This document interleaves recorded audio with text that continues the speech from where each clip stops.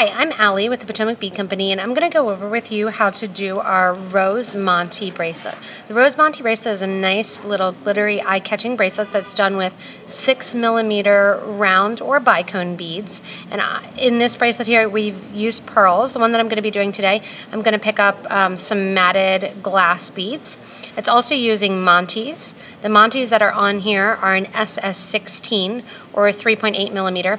The ones I'm using are just going to be a little bit bigger, and they're in a blush color and they are SS20s or 4.6 millimeter. I'm also using 11O seed beads.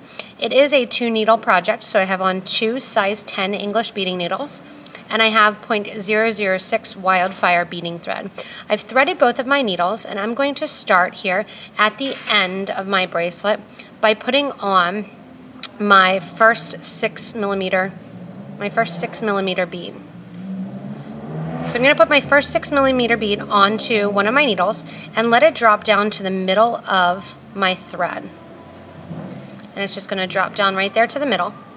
After my 6, I'm going to put on an 11 on each side of my needles. I'm going to put a 6 on each side of my needle. And then I'm going to put another 11 on each needle. The next 6 millimeter bead that I put on I'm going to put on my right needle going from right to left and my left needle going from left to right. So I'm crossing through that fourth six millimeter bead that I put on. I'm going to pull nice and tight and you'll be able to see here that little shape that I'm getting. What I'm going to do is continue to do that pattern and eventually we'll sit the Montees kind of right in the middle. So this bracelet we're working on the base first by doing that pattern. So when you're looking at it we're going to be doing the base. So to continue on with our pattern onto each needle from now on we're going to put one of our 11 seed beads one of our 6 millimeter beads, one 11 seed bead. Pick up your other needle and do the same thing. 11 0, 6 millimeter, 11 0. Let those drop down next to the last beads. And then my next rotation that I'm going to pick up is a 6 0 or 6 millimeter bead.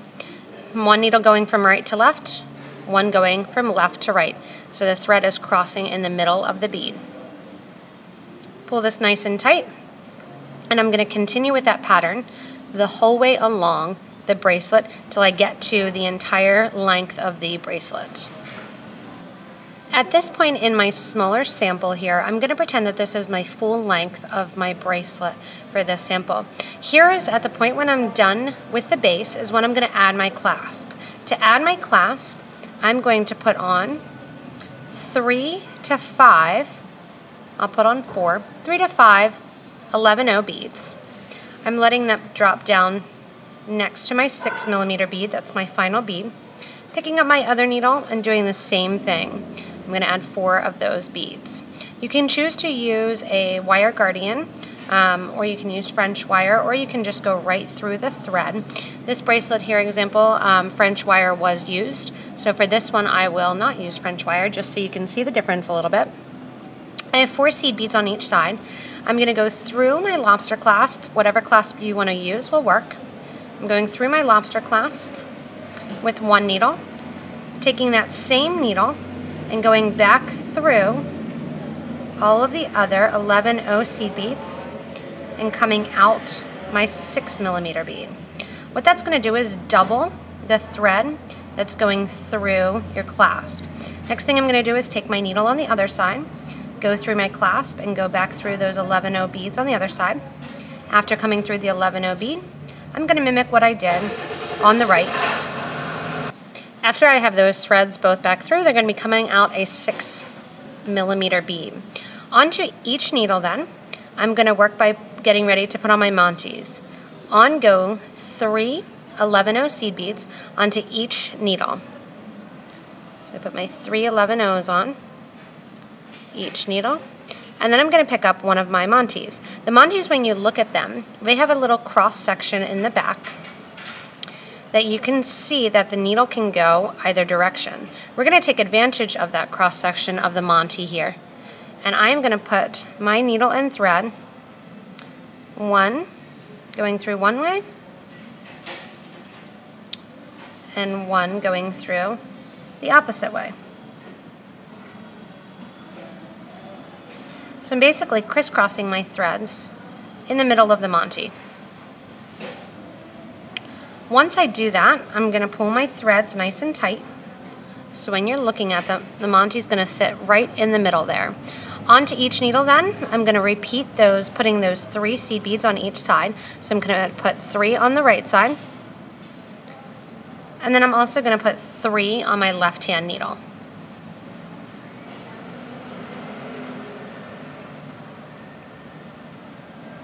To finish this cross section, I'm going to take my needles and I'm going to crisscross through the next six millimeter bead that is in the rotation. So you're going to lay your Montee down and you'll be able to figure that out when you're looking at it. And my Montee gets laid down right here in the cross section over my beads. You can see it sitting nicely here. And I'm going to sew from right to left and left to right through that six millimeter bead. That is then going to pull the Montee in nice and tight against my beads.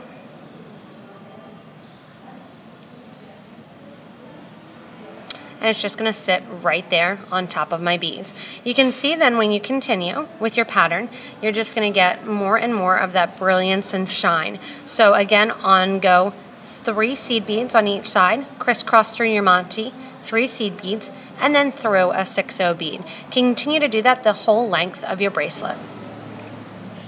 Now that I'm done putting my Montees on, I'm going to show you how to put the clasp on the other side. Again, there's multiple ways to do the clasp and to decide which style you want to. You can check out some of our other YouTube videos if you want to do a different way, want to put a guardian on. Um, but to do it simply, what I'm going to do is repeat what I did on the other side with my lobster. On go four of my 11 seed beads. On goes my clasp.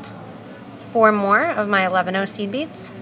I'm to circle this back through my 6-0 or 6 millimeter bead and that creates one of my loops. On the other side I'm going to take the needle and just to reinforce it anytime I'm using thread and a clasp I'm going back through all of those beads again and that whole rotation and then I'm going to go back here to the side and on the other one, I went back through that six millimeter bead. However, with this one, because I'm at the end of my bracelet, what I'm gonna do is pick up these two threads here. My two threads, I ended them on the same side. And I'm gonna take those two threads and tie them in a nice tight knot. You can choose if you want to take your extra threads then and reinforce the bracelet and take it back, or you can choose to do a little dab of glue and cut off any extra thread that you have on. So that is how you do the rose Montee. You can switch up the sizes that you do. All you'll need to figure out is you might need to use a couple extra seed beads in there if you wanted to use an 8 millimeter. The 4 millimeter, you might want to change your size of Montee's and definitely stick to um, an S12 or 16 when you're working with that. So have fun and check out our other YouTube videos. Again, if you need any little hints on um, cutting your thread, burning it, attaching your clasp, check out some of our other videos and uh, like us on Facebook and hopefully you enjoyed this one. So thanks a lot for watching.